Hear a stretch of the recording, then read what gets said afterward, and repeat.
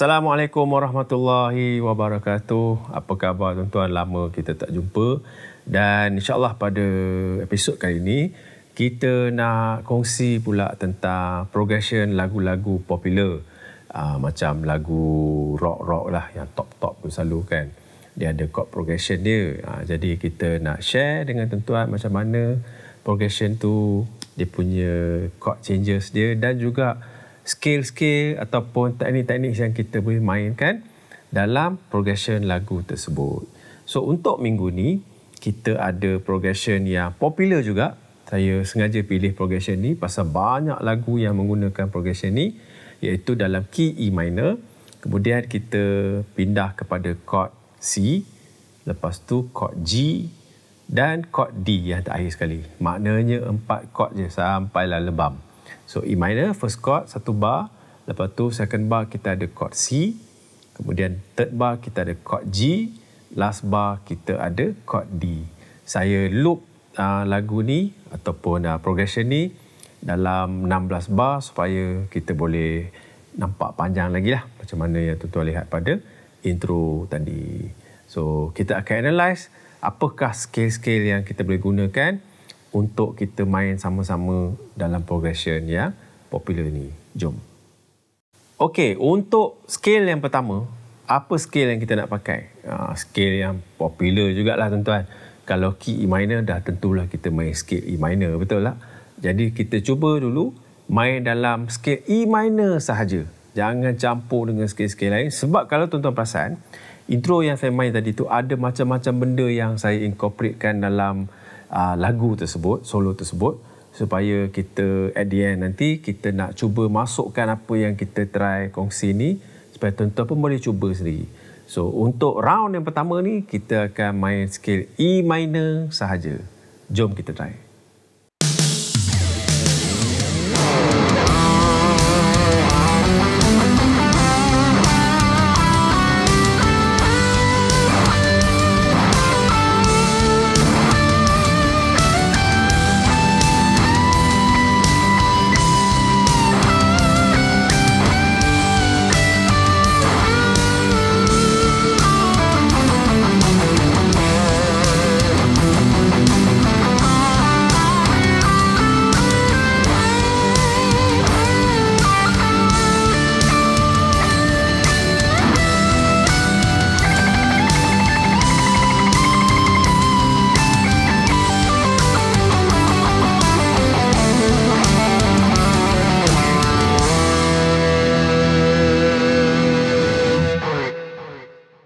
Tuan-tuan, itulah bunyi dia kalau kita main scale E minor. Ya, jadi, tuan-tuan boleh nampak perbezaan dia apabila kita masuk kepada scale yang kedua ni pula yang mana bunyi dia lebih macam abstract sikit, eh, lebih misterius sikit. Ah, dia lebih open bunyi dia.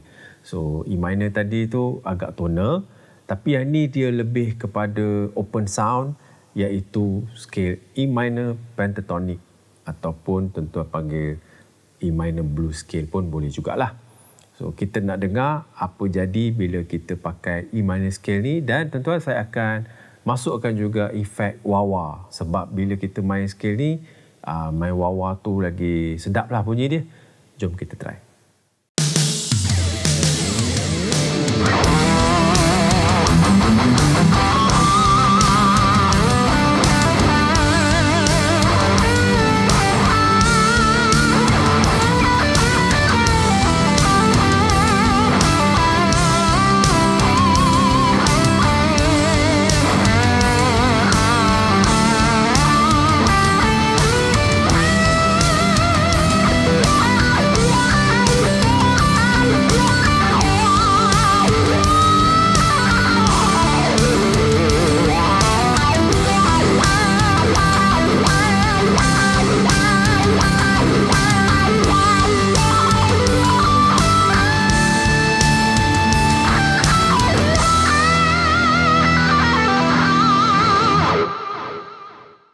So macam mana tuan-tuan?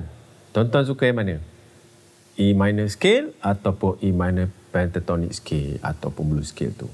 Ha, ada bunyi bawah tu yang bagi dia interesting sikit kan. Ha, bunyi dia mysterious open and yet ada wawa tu bagi dia ganas lah. Uh, tak apa, tuan-tuan jadi hakim. Tuan-tuan nak combine dua-dua skill pun tak ada masalah. Pun boleh juga.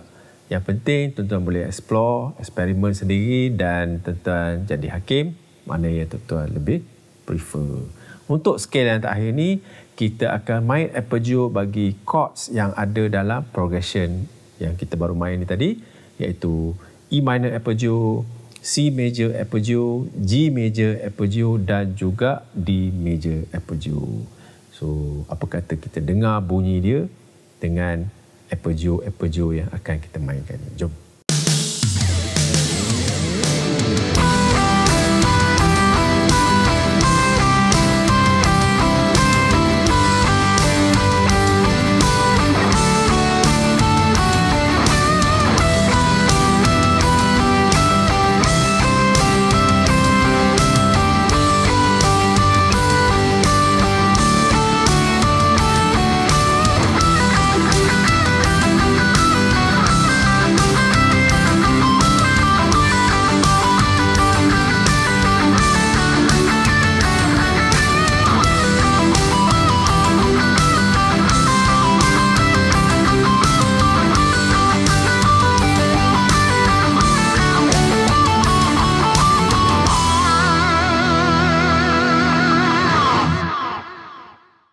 Itulah dia tuan-tuan tiga skill yang kita dah tunjukkan, kita dah share dengan tuan-tuan.